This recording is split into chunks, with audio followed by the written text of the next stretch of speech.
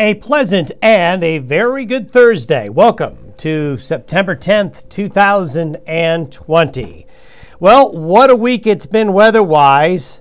That, I guess, fits in with what has just happened over the last few days across the Rocky Mountain West. Fits in very well with how 2020 has gone so far. But we've got a little bit of good news. In fact, I got two good pieces of good news. First of all, the low is going to be slow to move out through Friday. Now, why is that good news? Well, at least for you folks in Colorado, this means another day and a half where it's going to rain and snow over some of the bigger fires, especially the ones in northern Colorado. We're going to see two more days of really cool and occasionally damp conditions. We're also going to see temperatures far below average for another day or two, not as cold as it's been, but that'll be good news. Now, we bust out of this just in time for the weekend. It'll be remarkable. This weekend is going to be one of those weekends where in a day or two you're going to forget about the storm because we're looking at 70s to near 80 degrees, low humidity, lots of sunshine. The low moves out, high pressure moves on in. We're going to give you a La Nina update and see where we're at. I will tell you, folks, La Nina explains a lot of what's happening, and it has happened. You take that with the solar activity or the lack thereof, and everything really starts to make sense. Now, let's take a look at where we are today. Here's the upper low, still right over the Four Corners region, but it's going to slowly today and tomorrow go this way. It slowly begins to drift through. Now, the low is weakening, but you're going to see during the day today rain showers, even a couple of thunderstorms rotate around the low and the counterclockwise spin around it, and that's going to be producing showers in this area right here today, tonight, and into early Friday. And as we mentioned at the beginning of the podcast, this is going to bring some of those fire areas of Colorado more moisture.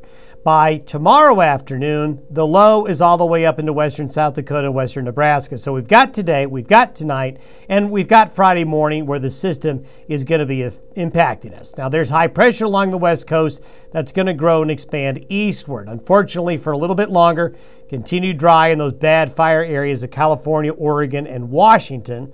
Although this guy here is going to bring hope by Monday night, Tuesday, and Wednesday to at least the Pacific Northwest to maybe get some rain on those fires.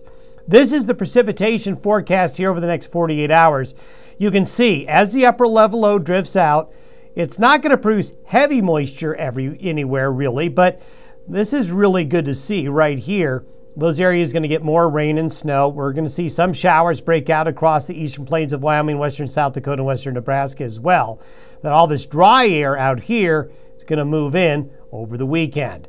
Here we are by Sunday. High pressures over the Rockies. So this is going to give us just one of those classic, beautiful September weekends of weather. So get outdoors.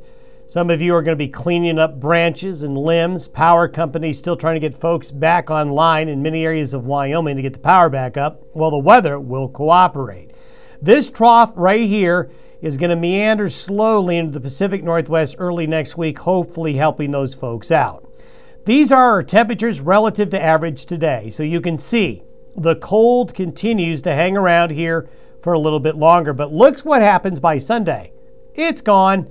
Warm air spreads east. Actually, temperatures by Sunday and Monday go a little bit above average across portions of Wyoming and northern Colorado. You can see the heat and the dryness up here in the Pacific Northwest.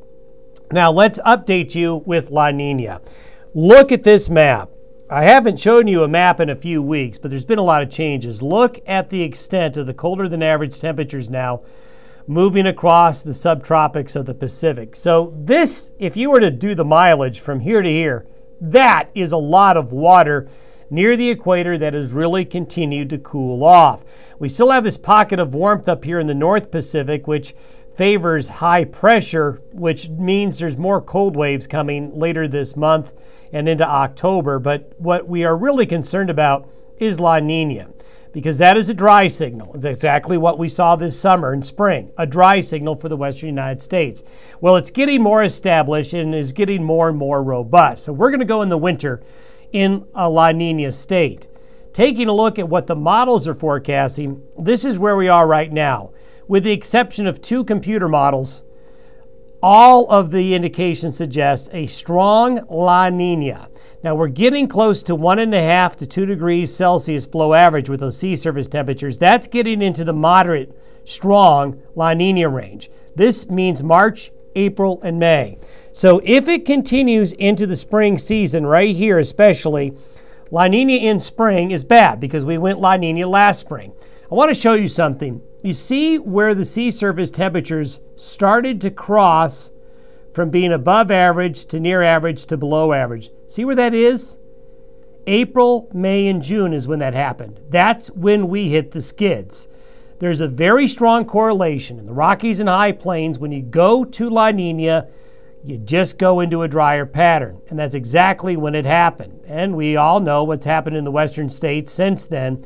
So as we look ahead, we're going to continue to see the sea surface temperatures in a La Nina state. Now, this is La Nina region 3 4, which is out in the eastern Pacific near South America. If we go further out, El Nino regions 1 and 2, further westward into the Pacific, you can see that stays in negative territory all the way into March, April, and May as well. And you can see the huge drop in sea surface temperatures that took place April, May, and June. Thanks for watching and listening to the Day Weather Podcast. We'll see you on Friday.